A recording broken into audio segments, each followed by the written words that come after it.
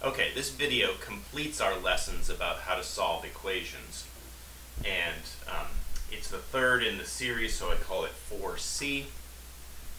It focuses on what, I'm, what I call duplicate variables.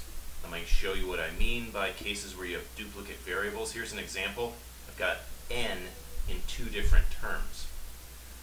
And there may be cases where you're going to have n in three, four, five different places. Of course, it could be a different letter than n. That's the example that I have here. These are different situations than cases where you have two different variables. And in that case, I call those multiple variables. And you might have a case where you'll have a problem with x and y, or a and b. Right now, I'm just talking about situations where you've got the same letter appearing in more than one place. This video um, because it wraps up everything we're going to talk about in terms of solving equations, it's probably going to be longer than the ones we've had uh, up until now. So I apologize for that. I know I have to get it done in less than 15 minutes because that's the technical time limit on the software that I use.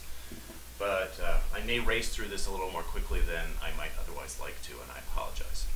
Here are 10 problems for you to try. Hit the pause button. When you come back, I'm going to show you the answers to all 10. Okay, I'm going to assume that you've done that. Here are those answers. Make sure that you have all of these answers completely correct. I'll explain what I mean by identity, um, but make sure you have all of these completely correct if you want to feel as though you understand this well enough to move on. Even if you feel as though you understand it that well, I recommend you watch this video all the way through because toward the end I get into some word problem applications of these skills that I want to make sure everybody knows how to do. So please watch this complete video no matter how well you understand the algebra. There are going to be four keys discussed in this video. Hit the pause button to read all four, but I'm going to move on and start applying the first of those. Okay, step four, remember I've done steps one through three in the previous videos. It talks about moving the matching variables together and combining them. Let's look at this first example on the left. Got two cases of m. i got to put those together. Negative 8 and 2 together make negative 6. I've got negative 6 of these things called m. And it's equal to 12. To get m by itself and figure out what m is, I've got to divide away that negative 6. Then the negative 6's cancel on the left, and I'm just left with m. And on the right, I've got 12 divided by negative 6, which is negative 2, just like I told you it should be. On the right side, it's a more challenging question. You might ask, um, why can't I use the skill that I used back in the last video? Why can't I divide everything by 3 and just move this out of here so that I don't have to do any distribution?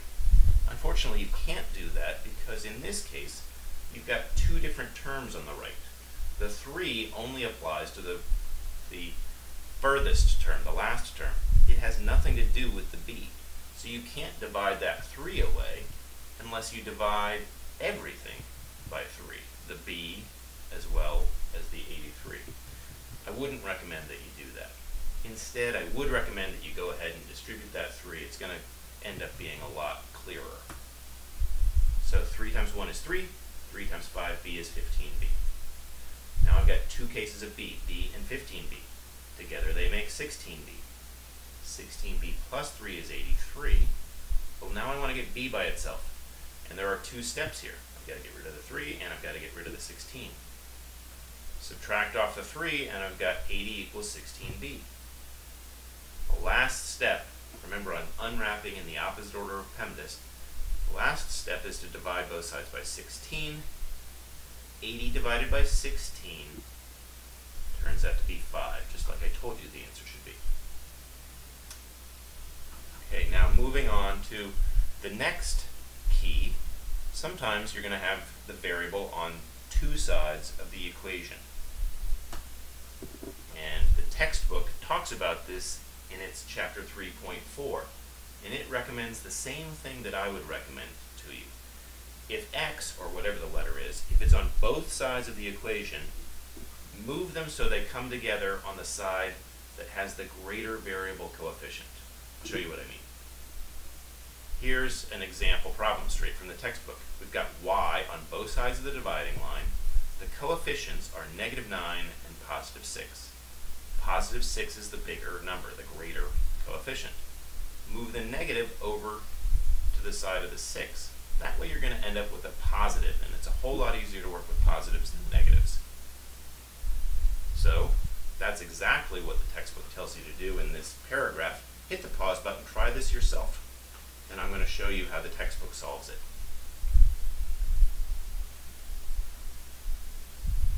Okay, I'm going to assume that you've paused and tried this problem yourself. Let me show you the steps the textbook took. First of all, they rewrote the equation, just copied it down again. Like I said, they moved the 9y over to the other side by adding 9y to both sides. 6y and 9y together make 15y. These negative and positive 9y's canceled, and I just have 80.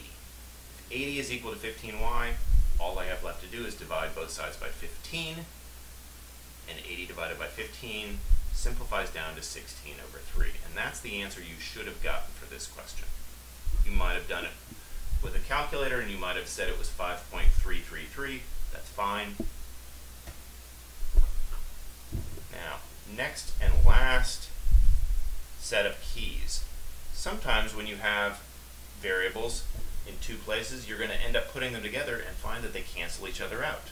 When that happens, you're either going to get no solution or you're going to get something called an identity. And I'm going to show you what I mean uh, for both of those. But first, let's define the terms. An identity is an equation that's true for all values. Eh, maybe better if I show you the example. And, well, actually the textbook doesn't really explain what they mean by no solution, do they? I think the examples will help. Let's try doing this one. Go ahead and hit the pause button. Work this one out, see what answer you get, and then let me show you what the textbook got. Okay, I'm going to assume that you did that. What they did first, well first they just copied the question down again. But the first thing that they did is they're going to distribute that 3. And they're going to get 3x plus 6 on the left is equal to 3x plus 6 on the right. Well, notice the two sides are exactly the same. You can say right now that's got to be an identity, but I'll show you why. Put the 3's together, put the 6, I'm sorry, the 3 x's together, and put the 6's together. When you do that, when you move the 3 x's together, you're going to get 3x minus 3x, or in other words, 0 plus 6 is equal to 6. Or in other words, 6 is equal to 6. That's always true. 6 is always the same thing as 6 as the textbook says, always true. When that happens, you have what's called an identity. In the case of an identity, you can put any number you want in for x, and the answer will prove to be true. I could put my favorite number in, or you could put your favorite number in for x, and it's going to turn out to be true, um, no matter what. So let's go back and look at the case at the very beginning of this video where we got an identity. And that was this case down here, question 9 you should have found that the left side and the right side ended up saying the same thing. They ended up saying identical things.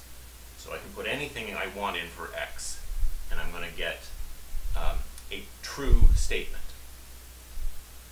But sometimes you get no solution. Hit the pause button and try to work out b, see what you get, and then I'll show you what the textbook got.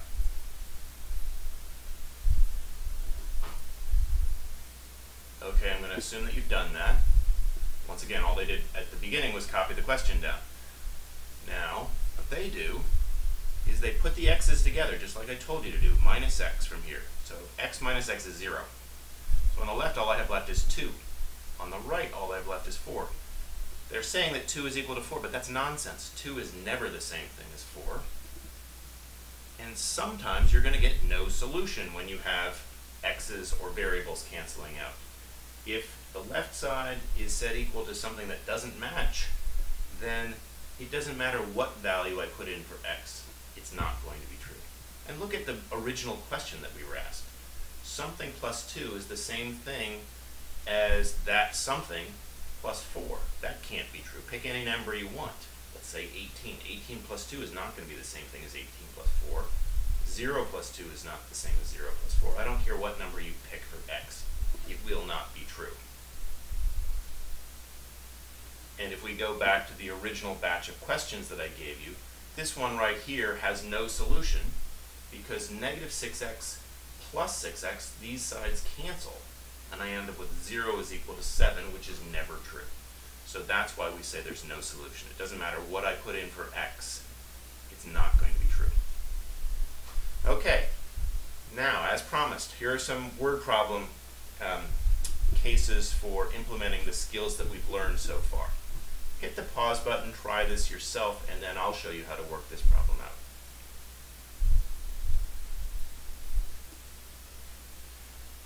Okay, I'm going to assume that you've done that, and I'm hoping that you've been able to, to um, arrive at an answer for the question, which is going to turn out, by the way, to be one and a half, but let me show you why.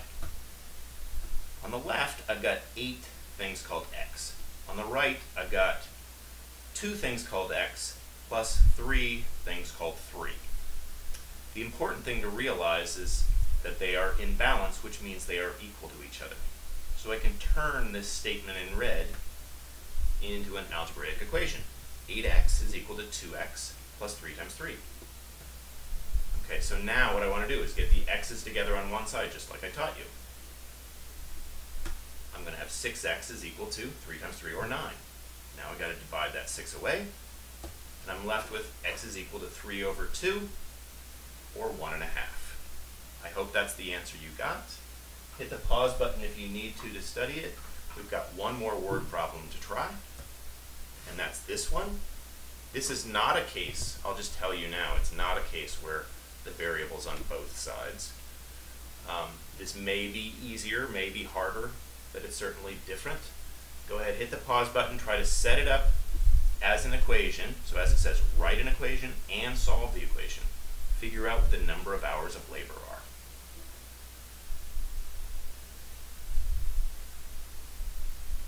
Okay, I'm going to assume that you did that. Here are both the equation and the answer. 34 times, well they picked x, I might have picked h. 34 times the number of hours plus the starting amount, the cost of the parts, 339, is going to equal the total amount, 458.